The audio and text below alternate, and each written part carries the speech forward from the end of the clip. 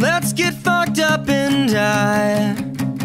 I'm speaking figuratively, of course, like the last time that I committed suicide. Social suicide. Yeah, so I'm already dead on the inside, but I can still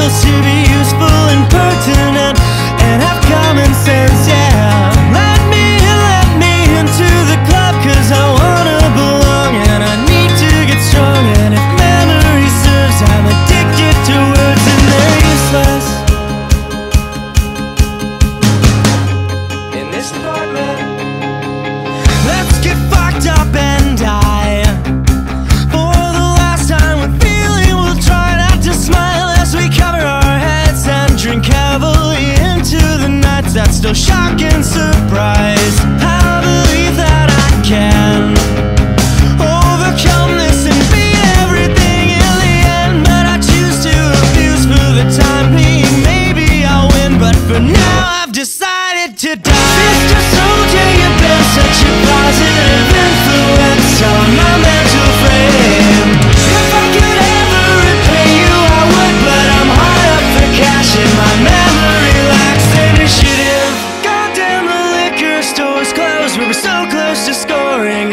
it destroy